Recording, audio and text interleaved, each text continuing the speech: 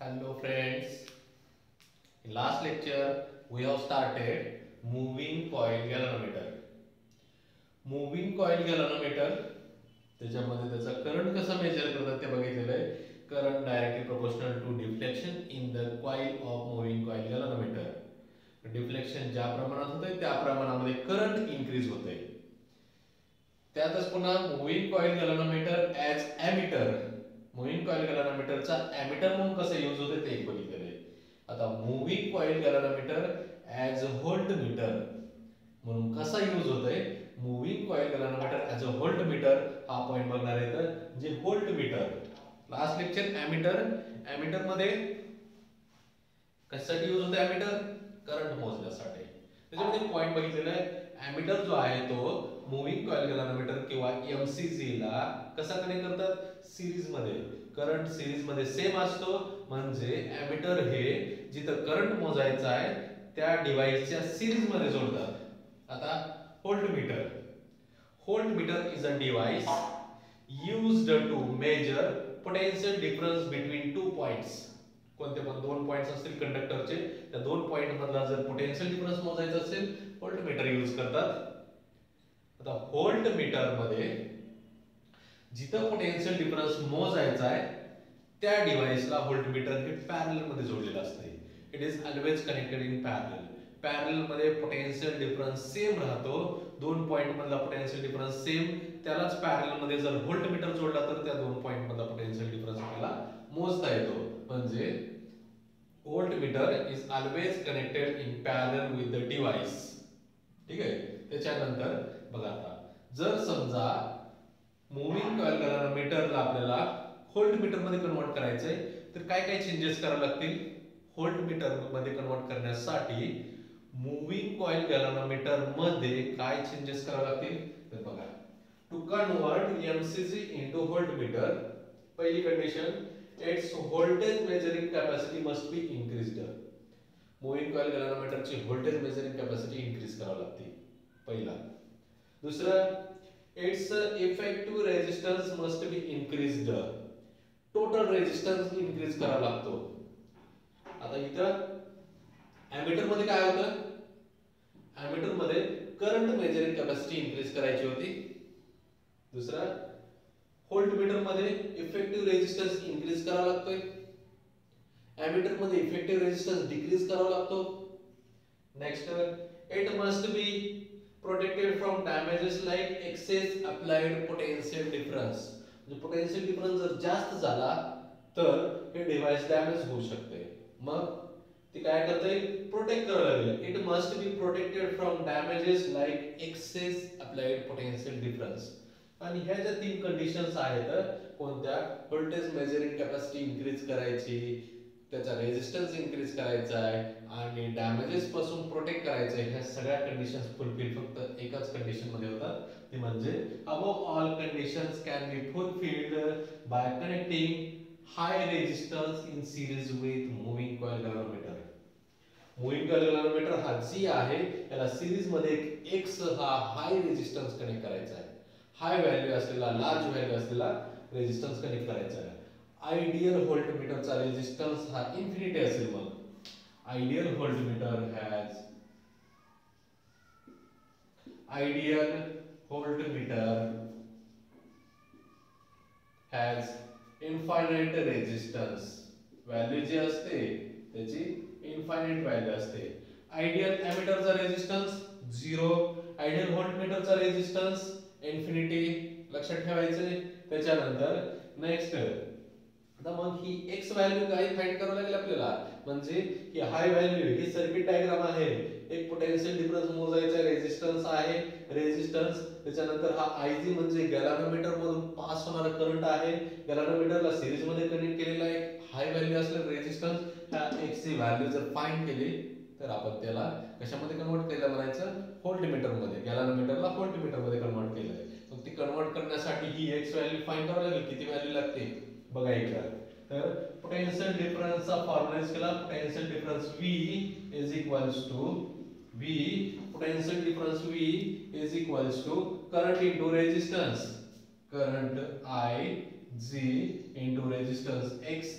Current I G into resistance G potential difference V is equals to I G into X I G into G आणि मग आता x value find करण्यासाठी हा left side आणला. V minus I G into G is equals to I G into X I G ने divide केलं ना V upon I G minus G is equals to X म्हणजेच X is equals to V upon I G minus G ही काय झालं?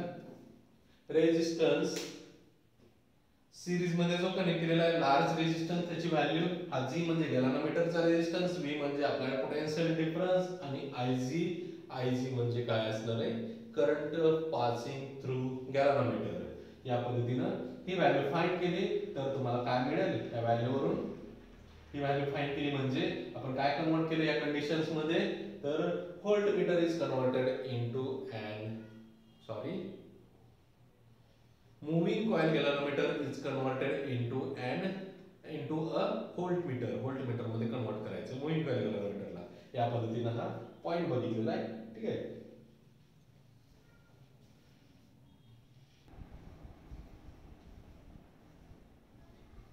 आता आपण बघितलंय moving coil गॅलॅनोमीटर volt मीटरमध्ये कसं कन्वर्ट केलं जाते next difference between ammeter and voltmeter ammeter आणि व्होल्टमीटर पॉईंट बघितलेले तर त्याच्यामधून काही महत्त्वाचे पॉईंट कलेक्ट केलेले आहेत. दोघांमध्ये काही डिफरन्स आहे ते डिफरन्स असलेले पॉईंट्स कलेक्ट केलेले आहेत.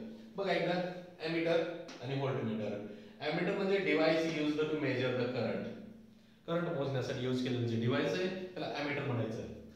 Voltmeter use to measure the voltage किंवा potential difference between two points एक करंट मोजण्यासाठी दुसरा पोटेन्शियल डिफरन्स किंवा व्होल्टेज मोजण्यासाठी यूज केलेला आहे. Next it is connected in series with MCG ammeter जिथं आपल्याला करंट मोजायचा आहे ज्या डिव्हाइस मधला करंट मोजायचा आहे त्या डिव्हाइसला कसं आहे हे सिरीजमध्ये कनेक्ट केलेलं असतंय. It is connected in series with the device डिव्हाइसमध्ये तरी चालेल ज्या डिव्हाइस मधला करंट मोजायचा आहे. Connected in series with circuit किंवा डिव्हाइस ज्या डिव्हाइस मधला करंट मोजायचा आहे ज्या सर्किट मधला करंट मोजायचा आहे त्या सर्किटमध्ये कसं सिरीजमध्ये जोडलेलं असतंय. ठीक आहे? It is connected in parallel with the device ज्या डिव्हाइस मधला करंट मोजायचा आहे त्या डिव्हाइसला पॅरलमध्ये जोडलेलं आहे. ठीक आहे? Next ideal ammeter had zero resistance म्हणजे ॲमीटरमध्ये रेजिस्टन्स कमी कमी केला जातो.